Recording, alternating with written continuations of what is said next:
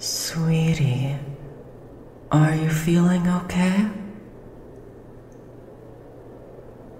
Are you sure you're not acting like yourself? Usually we'll be making preparations for movie night by now. Hmm. Feeling your forehead, you're not sick. What's got you so down? It's not nothing. You're looking at me like something bad happened. You've been quiet all afternoon, sitting on the bed, looking outside. Can you please tell me? Oh, come here.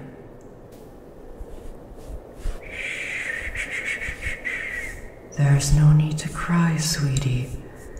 Whatever it is, we'll get through it. I promise. Of course we will.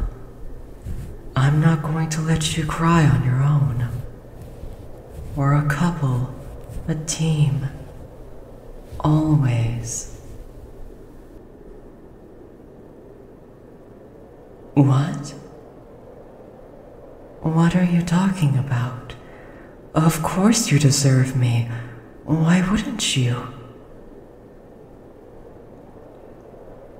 Who told you that? No, no, sweetie. Look at me. Please, look at me. Who told you that you're not good enough for me?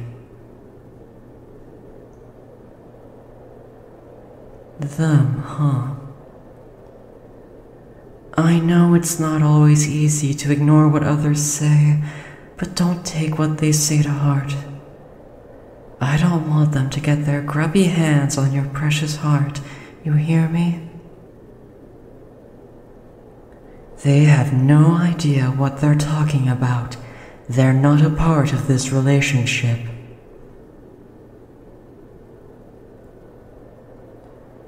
I don't care if you're immortal. I never cared. I only ever cared about you.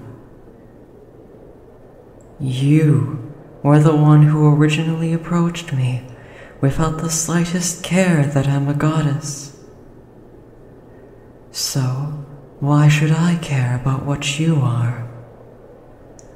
You've treated me with nothing but kindness and respect, and, importantly, you didn't treat me any differently because of my powers. I mean, you do treat me like a goddess, but not because I am one, but because you love me.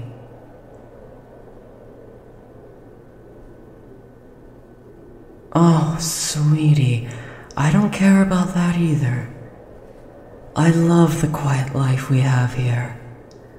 I don't want some godly castle or a daily adventure for my life. All I want is us in here doing what we want to do. And besides, I'm not really doing any goddess related things anyway, am I? I rarely use my strength and powers for anything. The only time I really use it is when I carry you on my shoulders on our afternoon walks. But I'm sure a gym going mortal could do that too. And I'm not perfect either. I can still make mistakes. There are so many things I don't know about this world and its people. That's why we started movie night in the first place so you could introduce me to your favorite movies and show me new things. You have taught me so much, more than I have, probably. And you have heart, such an indescribable heart. I would give up my powers for you any day. I mean it, sweetie. You are a treasure and I intend to cherish you every day. I love you, sweetie. I love you so much.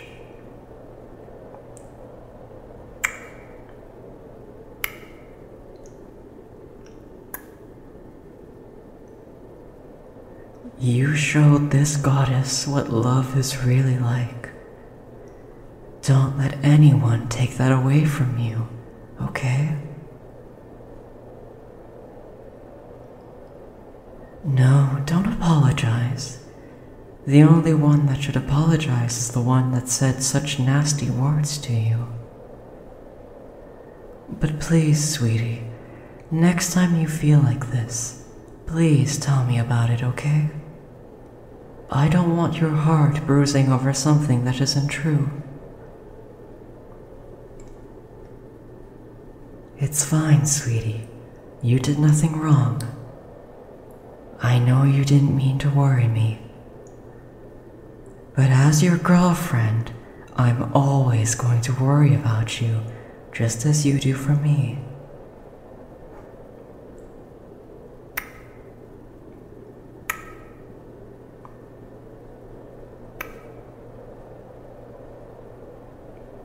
Are you feeling better now? I'm glad. Are you sure?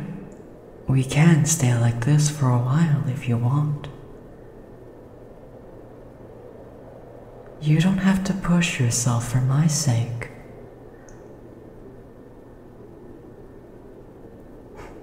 If you're up for it, then so am I. I'll let you choose. You know all of the movies.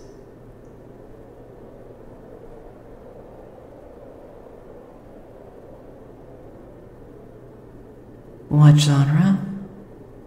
Hmm. I suppose I'm in the mood for some romance.